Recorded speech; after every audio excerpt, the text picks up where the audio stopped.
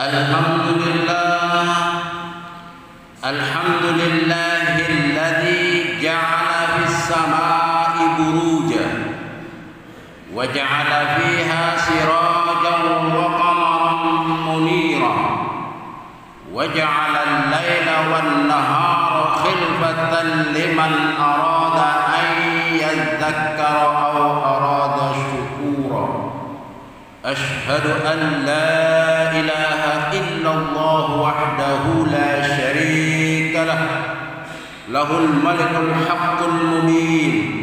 وأشهد أن سيدنا محمدا عبده ورسوله الصادق الوعد الأمين. اللهم صل وسلم وبرك وكرم على سيدنا ونبينا وحبيبنا وشفيعنا وزهرنا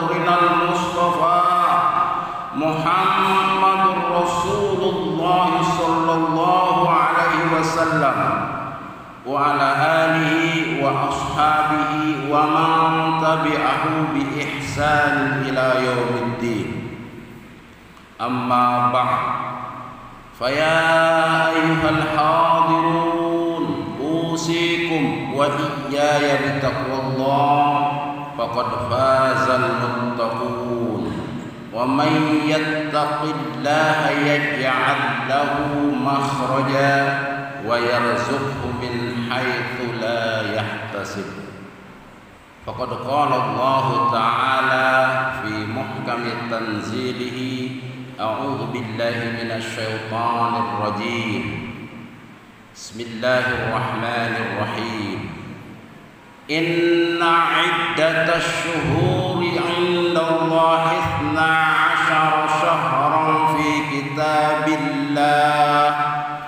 يوم خلق السماوات والأرض منها أربعة حرم ذلك الدين القيم. وقال النبي صلى الله عليه وسلم خير الناس أنفعهم للناس. صدق الله العظيم. صدق رسوله النبي الحبيب الكريم. ونحن على ذلك من الشاهدين والشاكرين معاشر المسلمين جماعة جمعة رحمكم الله Alhamdulillah segala puja puji hanya milik Allah Jalla wa'ala Salawat dan salam hanya bagi baginda Rasulullah Muhammad ibn Abdullah Sambil duduk secara tumak ninah Marilah kita pusatkan hati, jiwa dan pikiran kita untuk senantiasa zikrullah. Menginsafi segala salah, khilaf dan dosa kita Dan bersyukur atas segala karunia Allah Rabbul Alamin. Khatib berwasiat kepada diri pribadi dan umumnya kepada jamaah Jumaah Marilah kita terus berusaha secara lahir dan batin untuk meningkatkan kuantitas dan kualitas ibadah kita. Jemaah Jumaah rahimakumullah. Marhaban ammul jadid. Marhaban as-sanatul hijriyah al-jadidah. Alfu wa arba'umi'atin wa arba'u wa arba'ina Alhamdulillah kita berada di penghujung Dhul Hijjah. Sore nanti kita akan memasuki tahun baru Hijriah. Tahun baru Islam 1444 Hijriah. Alhamdulillah kita bersyukur mengakhiri tahun ini dan mengawali tahun baru dalam keadaan sehat wal afiat. Jamaah rahimakumullah. Agama kita luar biasa. Agama Islam adalah agama yang mengakhiri tahun dan mengawali tahun berada pada bulan haram, bulan yang sangat dimuliakan oleh Allah. Allah Subhanahu wa taala menegaskan hal ini dalam Al-Qur'an. Inna iddatash syuhuri indallahi 12 kitabillah. Yauma khalaqas samawati wal ard minha arba'atun hurum. Dzalika dinul qayyim. Sesungguhnya bilangan bulan di sisi Allah itu ada 12 bulan terdapat dalam ketetapan Allah ketika diciptakannya langit dan bumi. Dari 12 bulan itu ada empat bulan yang teramat dimuliakan. Itulah yang disebut dengan Syahrul Hurum, Arba'atul Hurum, empat bulan mulia, yaitu Zulqa'dah, Zulhijjah, Muharram dan Rajab. Jamaah Jumat rahimakumullah, kita saat ini akan memasuki bulan Muharram. Muharram disebut juga dalam hadis Syahrullah, bulannya Allah, Al-Asam, bulan Allah yang sunyi. Kenapa sunyi? Karena pada bulan ini tidak boleh terjadi peperangan, tidak boleh terjadi pertikaian, tidak boleh terjadi pertumpahan darah karena ini sangat dimuliakan. Inilah bulan haram. Bulan sebagai awal dari kalender Hijriah.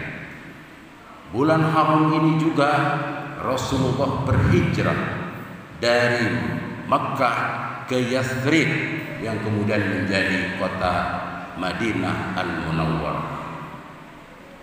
Jadi bulan haram ini adalah penanda bagi kita semua untuk bangkit kembali, berhijrah, berpindah, move on, melakukan perubahan-perubahan terhadap diri kita keluarga kita, masyarakat kita, dan bangsa kita. Pada kesempatan Jumat kali ini, khatib akan menjelaskan tiga makna momentum tahun baru Islam. Pertama, tahun baru ini harus menjadi kesadaran diri kita masing-masing untuk momentum berzikir, berfikir, dan bertasyakur. Berzikir mengingat Allah, zikrullah, mengingat Allah fi kulli waktu wahid wa fi aina makan. Zikrullah anytime, anywhere jadi zikir itu tidak terbatas pada tempat dan waktu, di mana saja. Kalau orang memiliki kesadaran berzikir seperti ini, dia akan menghadirkan suasana dalam hatinya itu kesadaran bahwa Allah Maha Hadir. Allah omnipresent dalam setiap tingkah lakunya sehingga ini bisa menjadi pengawasan melekat dan menimbulkan akhlakul karimah. Kedua, berpikir sebagai manusia berakal kita dianjurkan untuk terus berpikir. Berpikir tentang apa? Tentang segala ciptaan Allah di semesta raya ini. Berpikir tentang matahari, rembulan, langit dan lautan. Bagaimana Allah menciptakan makrokosmos ini dan menciptakan makhluk-makhluk yang kecil yang disebut mikrokosmos dalam keteraturan yang sangat presisi. Tidak ada satupun cacat celah dalam ciptaan Allah. Inilah yang digambarkan dalam firman Allah. Alladzina yadhkuruna Allah qiyaman wa qu'udan wa 'ala junubihim wa yatafakkaruna fi khalqis samawati wal ard. Rabbana ma khalaqta hadza batila subhana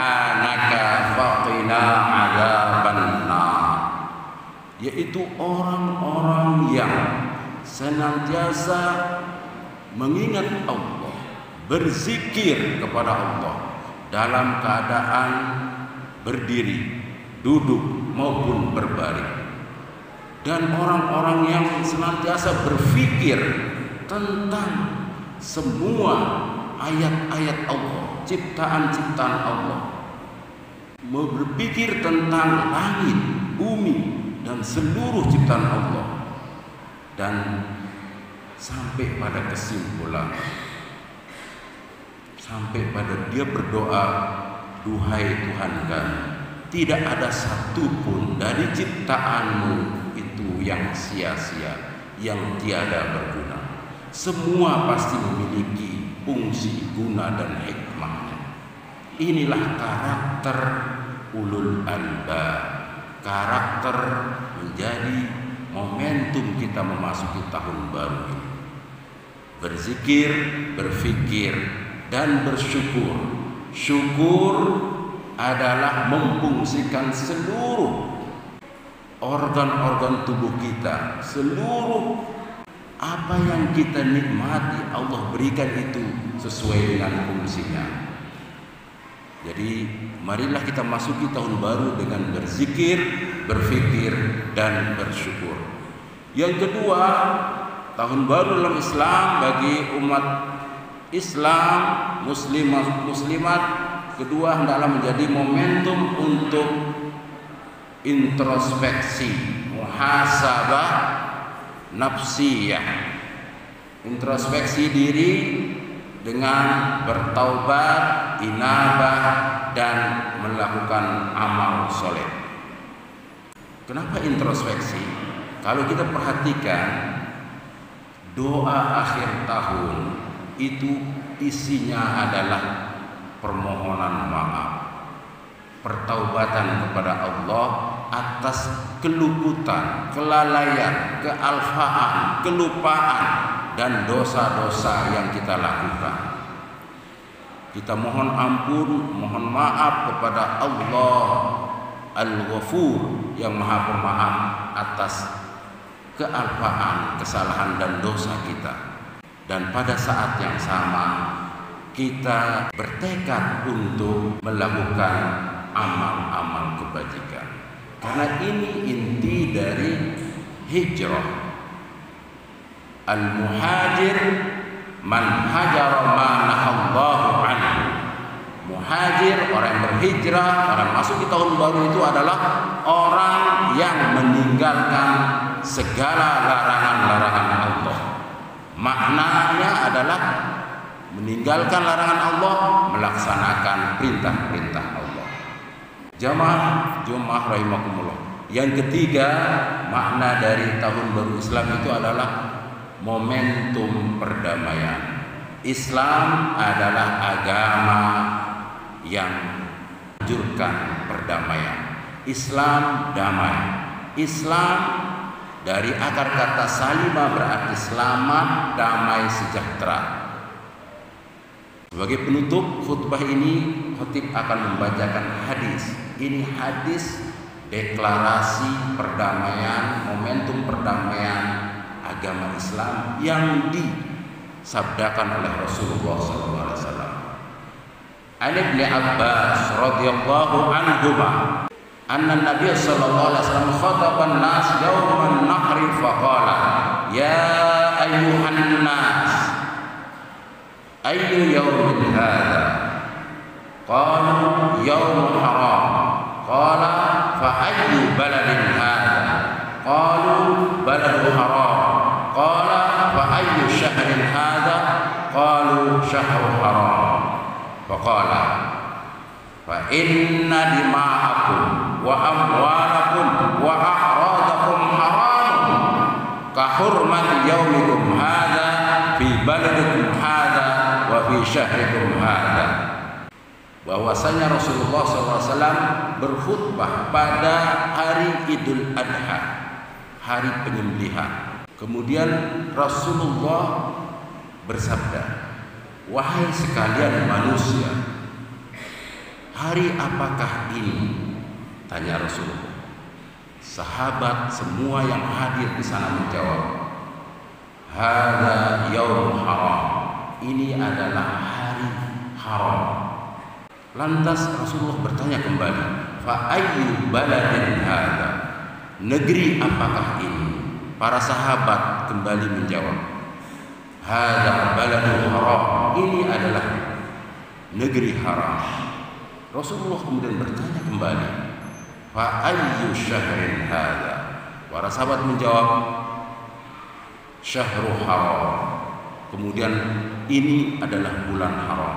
Kemudian Rasulullah bersabda fa inna dima'akum sesungguhnya darah-darah kalian semua wa amwalakum harta benda kalian semua wa a'radakum dan harga diri kalian semua haramun. Semua itu haram.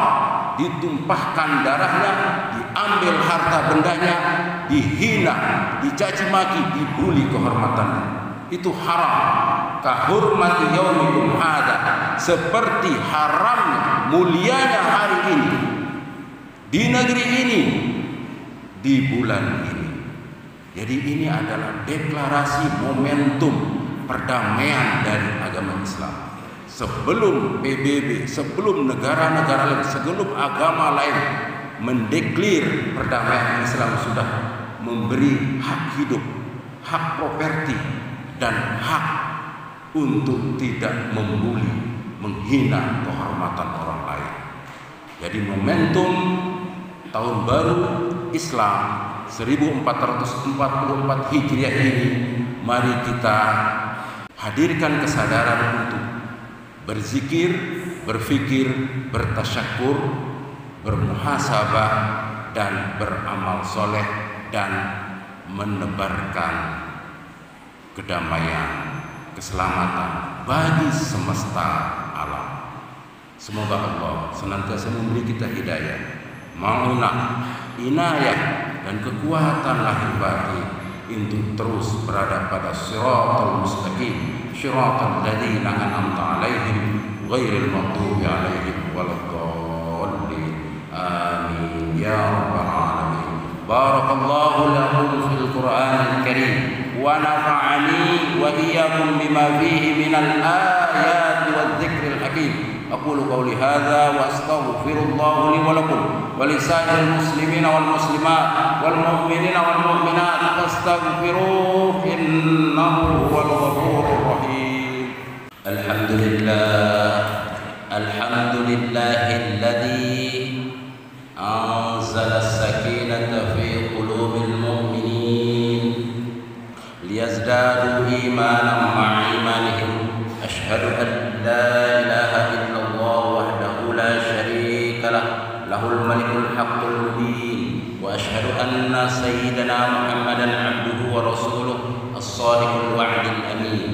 اللهم صل وسلم وبارك على سيدنا محمد صلاة وسلاما دائمين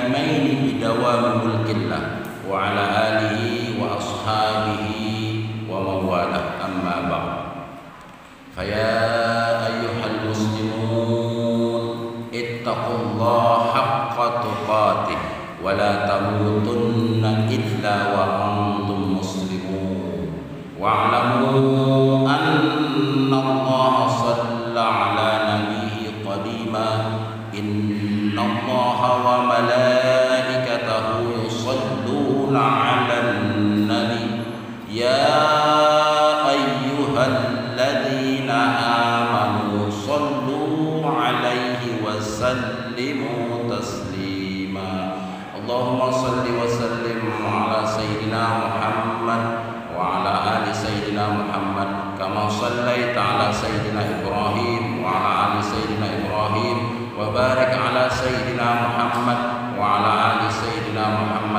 كما باركت على سيدنا إبراهيم وعلى آل سيدنا إبراهيم في العالمين إنك حميد مجيد. وارض اللهم عن الخلفاء الراشدون أبي بكر وعمر وعثمان وعلي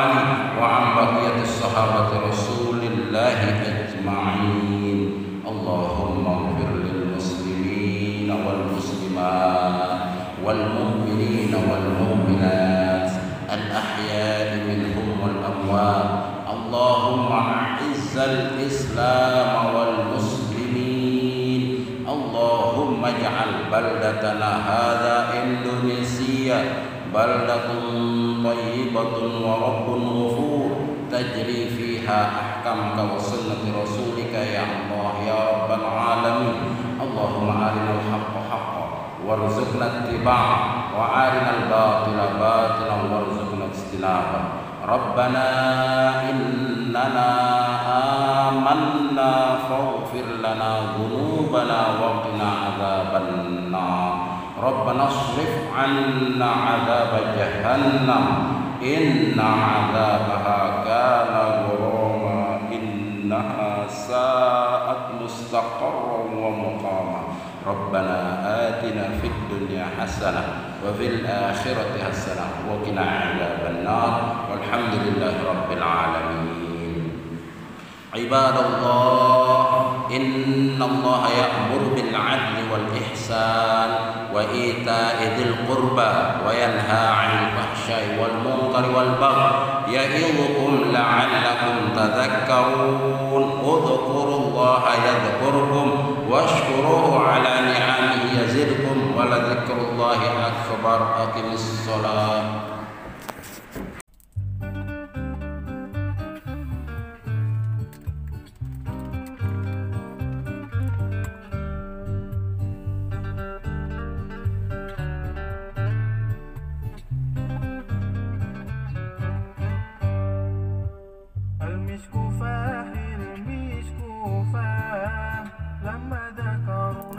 Bismillahirrahmanirrahim.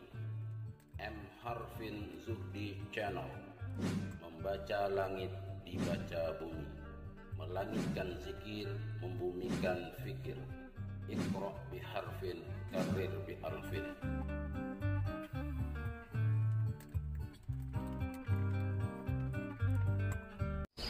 Ah, ah, ah.